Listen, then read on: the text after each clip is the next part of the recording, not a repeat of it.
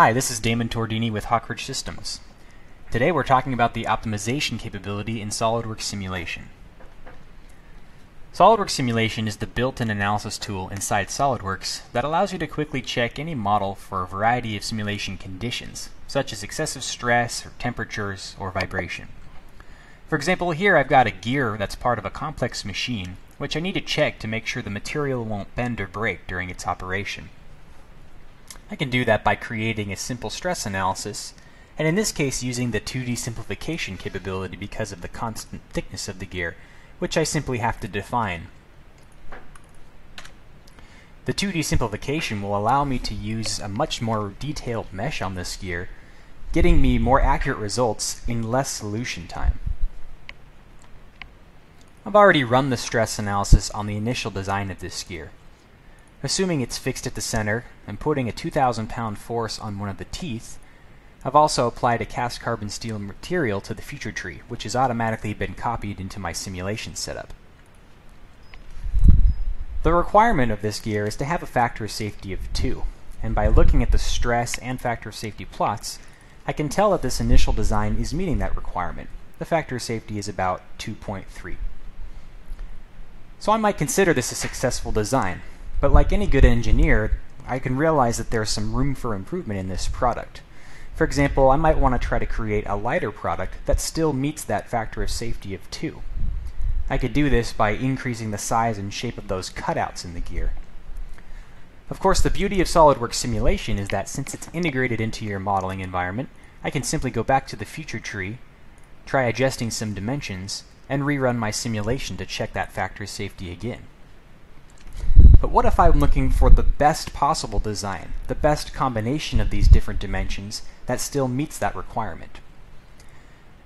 The design study in SOLIDWORKS simulation allows users to run a number of iterations simultaneously to check different values for these variables, which could be model dimensions or different values for the simulation parameters.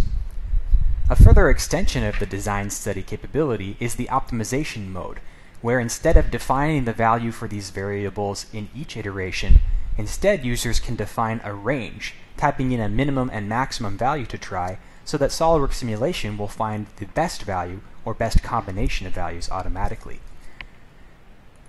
Here I'm looking for the best value of the slot angle, the top clearance dimension, and the bottom clearance dimension within the ranges that I've specified. I've also described my requirement, which is a constraint of a factor of safety of 2. I've created a sensor to measure that factor of safety from my simulation studies results. I've also created a sensor to measure the mass of this part, which in this case I'm trying to minimize. So I've set that as the goal, but other potential goals could be to maximize the factor of safety or minimize the first natural mode in a frequency analysis. When I hit run, SOLIDWORKS simulation will automatically generate a large number of iterations, trying out these different combinations of my variables, finding the value of my constraint, and then checking to see whether or not this is the best value of my goal. Some iterations will violate the constraint, and that's highlighted in red. I can also see that the different iterations, of course, are saving weight in certain cases, and SOLIDWORKS simulation will identify which combination of values has the lowest mass without violating that factor safety constraint.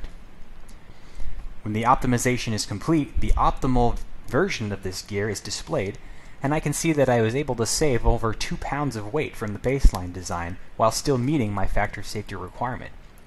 I can also look at all the other iterations that were tried and were not the best design, as well as examine factor safety plots for all of these, and look at trend graphs, which will show how the factor of safety or any other constraint varied with the different input parameters.